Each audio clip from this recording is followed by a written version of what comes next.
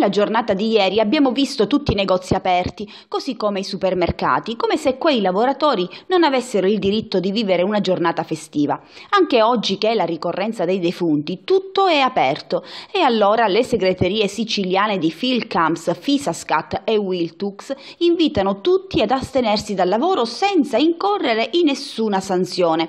La festa non si vende, affermano, e rilanciano l'avvertenza in favore di quei lavoratori costretti a svolgere la loro attività anche in occasione della ricorrenza dei defunti.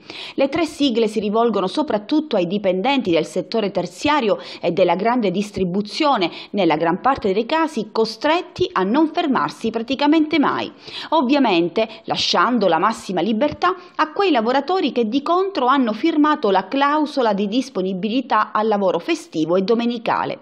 Queste aperture chiamate selvagge, affermano le tre segreterie siciliane, nelle giornate festive hanno generato un profondo stravolgimento delle radici culturali, religiose e civili, con la conseguente perdita del diritto dei lavoratori a santificare la festa in nome di un profitto effimero.